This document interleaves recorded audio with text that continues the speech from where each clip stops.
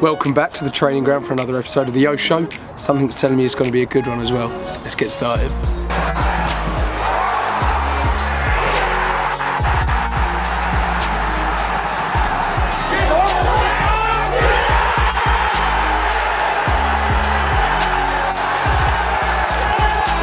Well, it was a pretty good Easter weekend for us Orient fans. We're not quite there yet.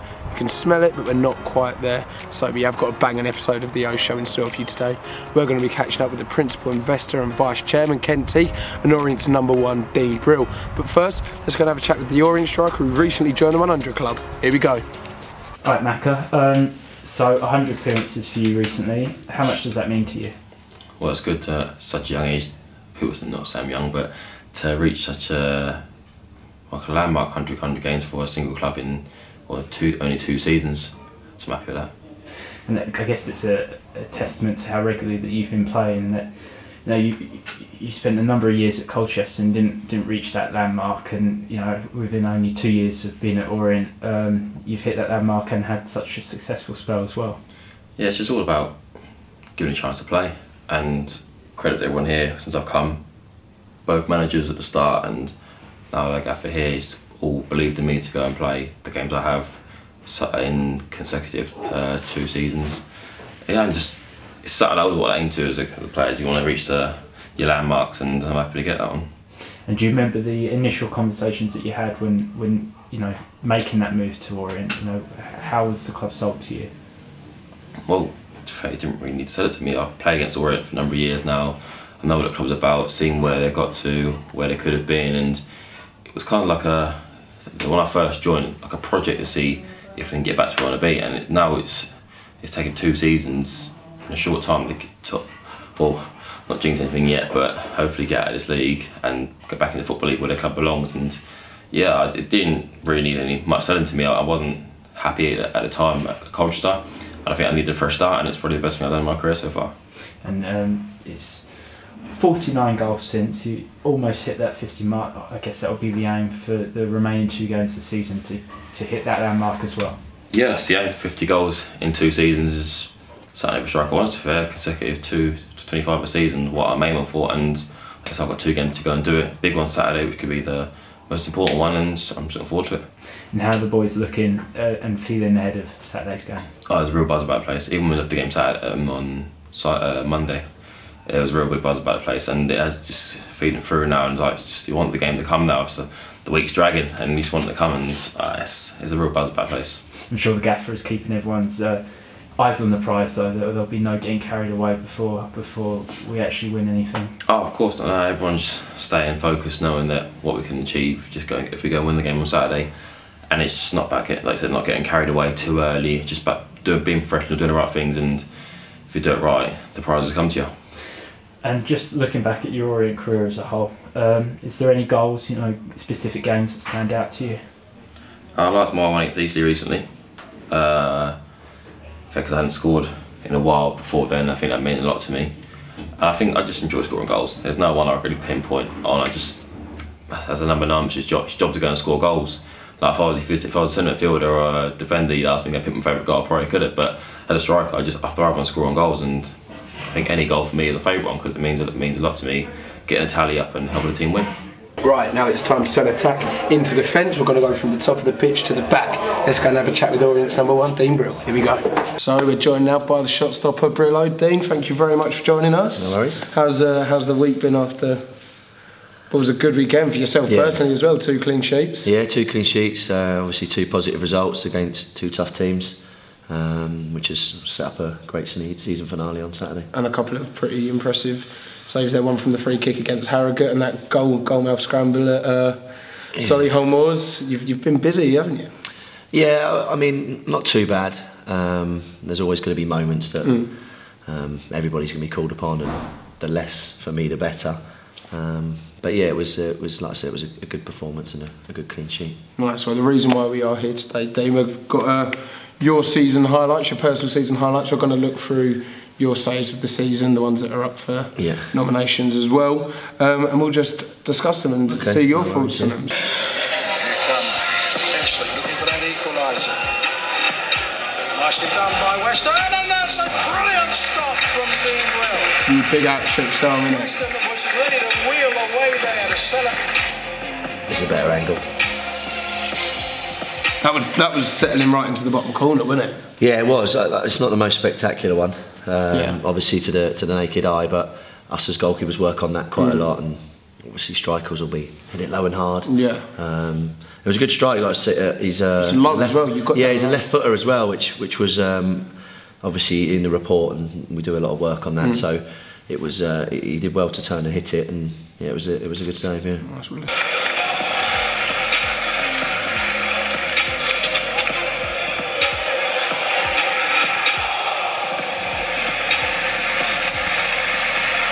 Enjoyed that one.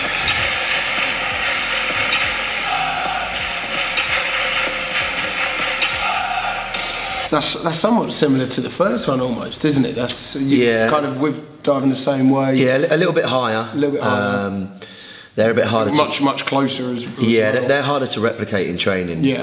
Um, obviously, with, with the players around and, and, and the crossing scenario. That- it's- that- it looked more of an instinct. wasn't yeah, it? it's, it's harder to replicate, but like I say, it's um, it was a good, it was a ni- it was a nice height.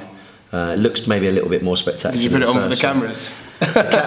Elliot gets some great. I don't know if he gets Elliot gets some great views. Yeah. There's half a chance here. There's a chance. There's a shot. Carried away and a second save. Double save that one. Yeah,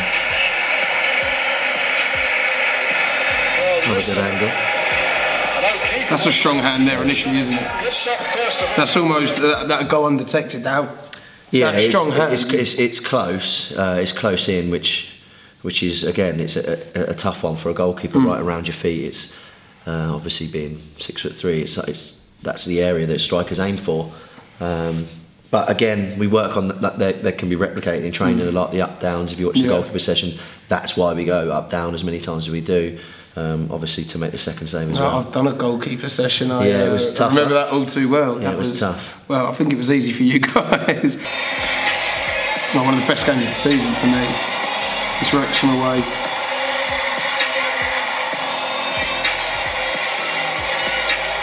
Yeah, different type this one. Mm, it's with the legs, yeah.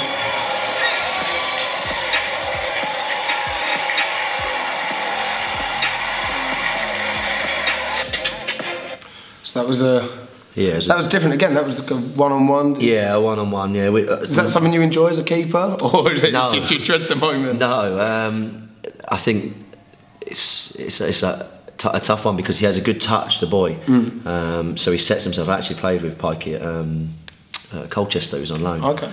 Um, it was a good touch, big strong boy run through. Um, and I think in them moments, it's about picking the the right time not to get too excited. And Yeah. I stood my ground, and we, we do work on them in training as well. So. Um, another thing that Mm. So, we practice. so all these saves that we're seeing, obviously, that Well, that's- they're, that's they're, why you they're train. worked on day in day out. yeah, that, and that's why that's why we got to train and um, we, we work hard and, Mm. and obviously we try to replicate as much as we can for a match day in training. So onto the bar as well, onto the post. To the post, yeah. Just get the good angle. I like seeing the reaction to the bench. Just spoiled someone's day. That is that is a ridiculous save. Yeah, it was. Uh, That is mental. that's an enjoy. That was an. It was an enjoyable one. That one. Yeah, Um, you had all the Orient fans behind you. Yeah, we had the fans in the corner. Obviously, we we were quite comfortable, and then um, we were going through a period of Mm. uh, the, finishing the games was, was tough. They were obviously fighting for their lives, and uh, yeah, that, that, that, that was that was one of the ones that I think the moments as big as the save. I was going to say because that kind of kept us in the game at two one, meant we won the game, and it was also kind of it was the game after Havant and Waterlooville. We we were just starting Yeah. another run. Yeah. saves like that can be crucial for the season. Yeah. I, I think again as you get older and wiser as a goalkeeper, which, which tends to happen, you you realise that moments are just as important as the mm. actual save. Sometimes they're maybe not as spectacular, or it it might not even be a save. It might be a cross or a through ball or something. It's it's the moments that are important, and and again that's what we train for. We train for them moments, Yeah. and, and and luckily I've made a made a good. That was my favourite, to be fair. Was it? Yeah, Yeah, that's my favourite. I think it's everyone's.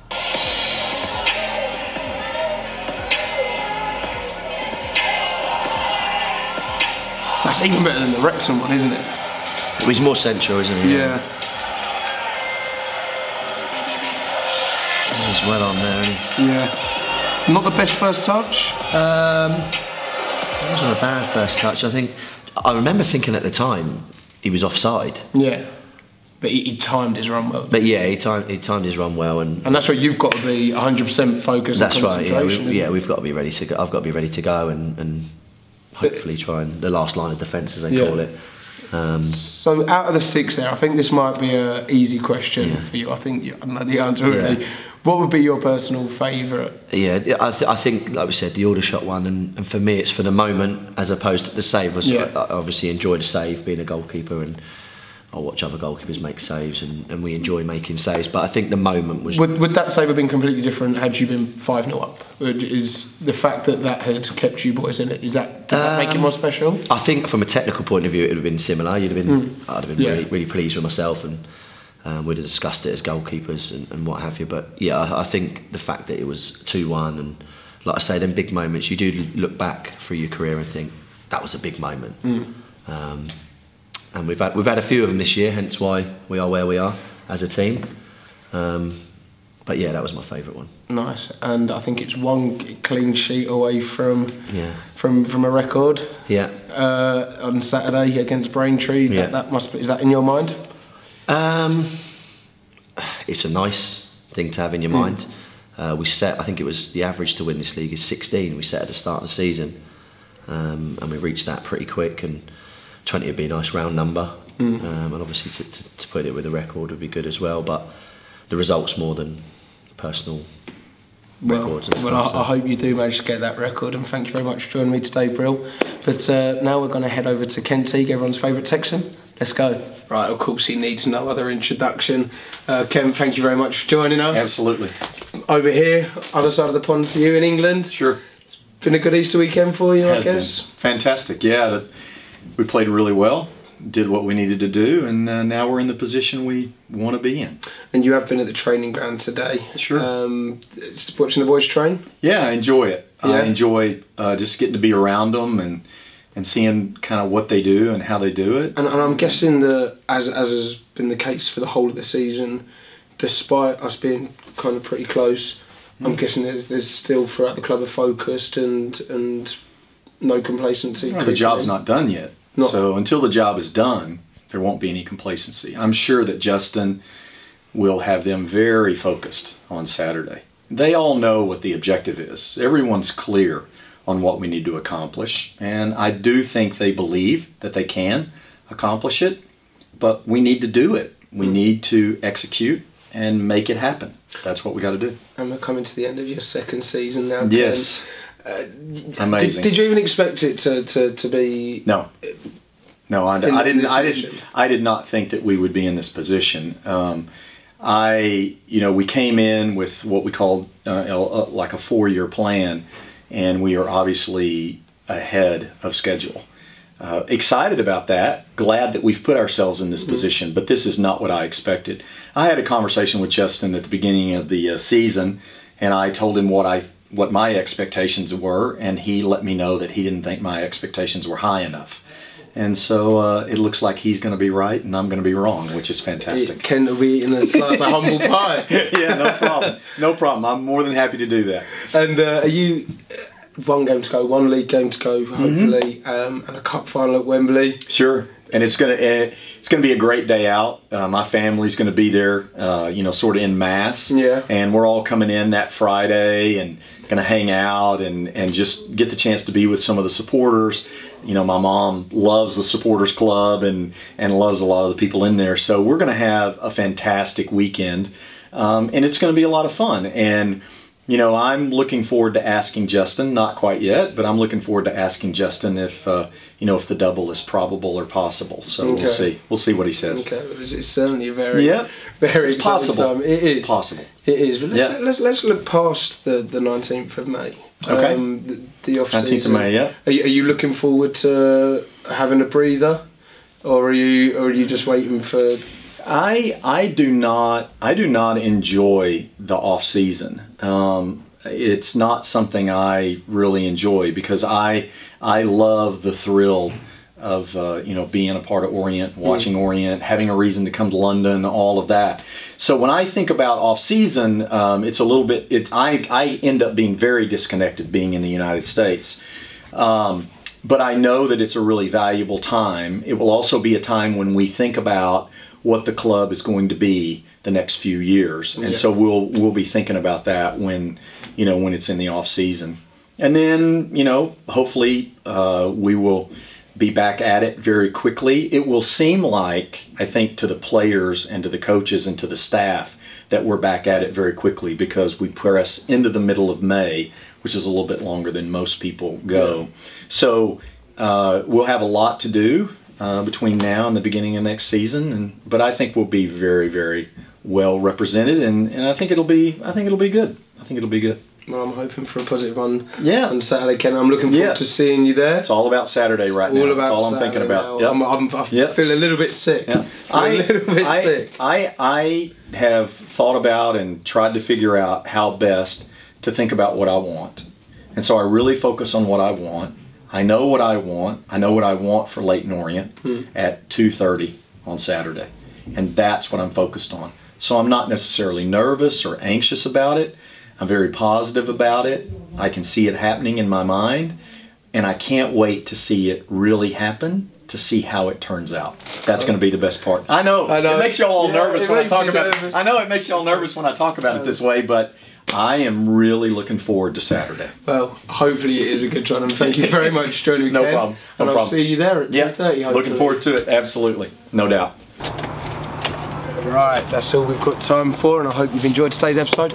Massive thank you to Macauley Bonne, Dean Brill, and Ken Teague for joining me. Now it's all us on Saturday, and everything crossed it's going to be a good one. See you there. Come on, you Orient!